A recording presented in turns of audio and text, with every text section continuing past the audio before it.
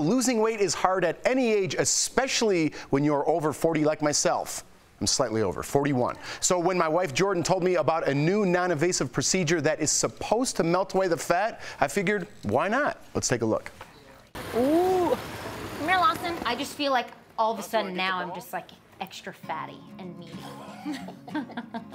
I've always struggled from the waist down. So my problem area has always been my midsection, you know? So my back fat section, I like to refer to as. One point in particular I found out this time I wasn't happy about my body. She's laughing because she knows what it is. It was Thanksgiving and we took like a family picture of me getting the turkey out of the oven and I couldn't even tell you what was in that pan because all I could see was my back fat.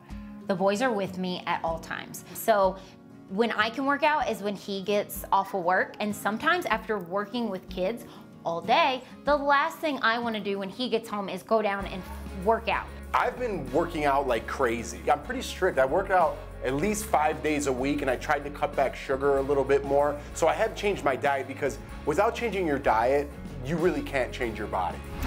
What I'm hoping truSculpt is gonna do is just take a couple inches off my outer uh, outer back thighs. I just want to be comfortable taking my shirt off at the pool. I know I'm a dad. I know I have two kids. You look good. The six pack days are over though.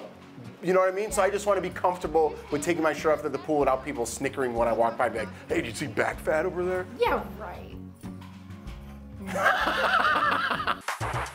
My name is Inara Gajiva and I'm with Vital and I'm going to be treating Jeff and Jordan today.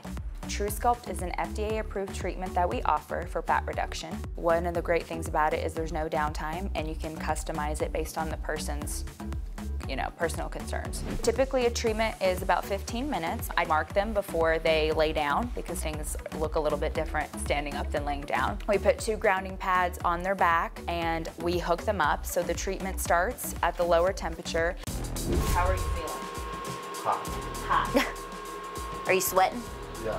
As we get to the therapeutic, the treatment itself is a full 15 minutes. And after a minute, I increase till we hit about 44, 45 degrees Celsius, and that is when the fat cells itself die. You know like when you sear a piece of meat in a cast iron skillet? That's what my back fat feels like. Once the 15 minutes is done, we take the templates off. All right, you're up next.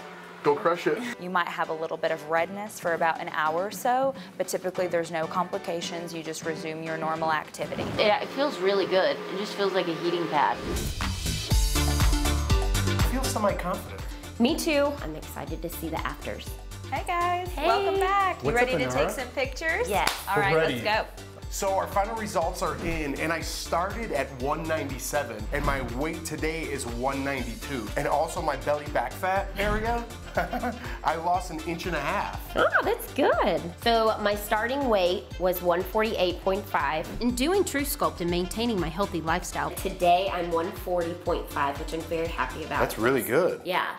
And then on my left and right thighs, I've lost an inch. So you did good.